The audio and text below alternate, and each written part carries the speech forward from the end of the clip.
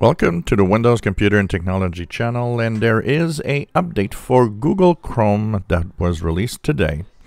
And uh, there's not a lot of detail, but we know that there's 10 security fixes in here.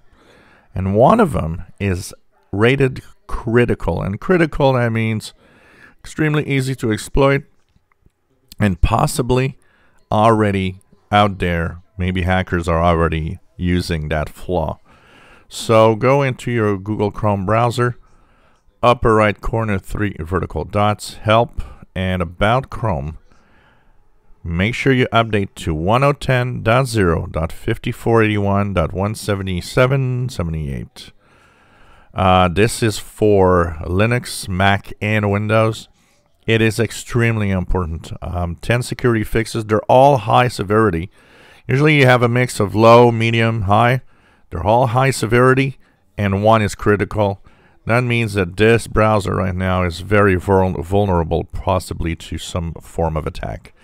We don't have a lot of info. We have I have info about some of the um, high severity. There's a lot of the uh, different um, engines within Chrome like the Vulkan engine, uh, WebRTC and so on. All sorts of rendering engines that actually help uh, show web pages that have a high severity flaw. Now, um, the really severe flaw that is critical, there's not a lot of detail. My, um, you know, Google often just keeps quiet on a lot of the problems of security because you don't want to hint the bad guys. You don't want to tell them, oh, here, there's a security flaw. You know, it's like, come on, go, exploit it.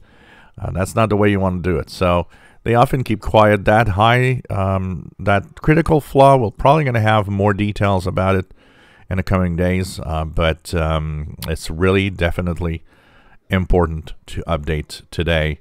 Uh, there are, you know, security updates uh, regularly, and uh, they are important to do. But today, I think is extremely important, more than usual, especially when there's critical flaws within Chrome. So check it out. Be sure to update. Once again, upper right corner, three vertical dots, help, and about Google Chrome. Make sure that you update 110.0.5481.177 or 178.